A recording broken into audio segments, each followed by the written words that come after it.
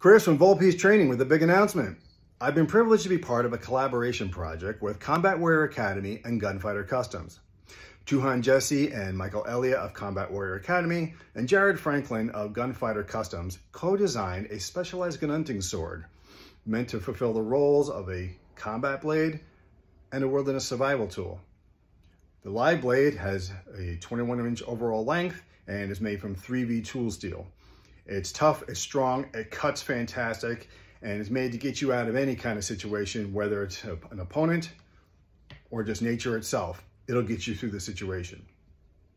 Now, anyone who practices the bladed arts knows that a good trainer is important to go along with your live blade. So Vulpes Training has joined in with the team to produce a polymer trainer to match the Tirsia Ginunting.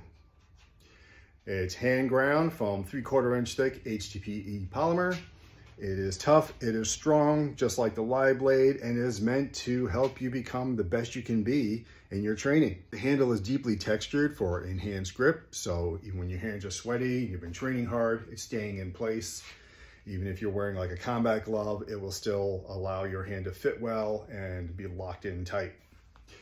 These are suitable for impact training like on tire stack or heavy bag or partner training, whether it's against another polymer trainer or even against rattan. The nice thing about this type of polymer is that it does play well with rattan. So if your partner has a rattan stick and you're training with your polymer trainer, they're gonna get along well and you're not gonna damage each other's equipment because good training tools help make for good training partners. Vulpes Training is proud to be teaming with Combat Warrior Academy and Gunfighter Customs on this project and to help you become the very best martial artist you can be. So check us out at www.vulpestraining.com. These will be available very soon.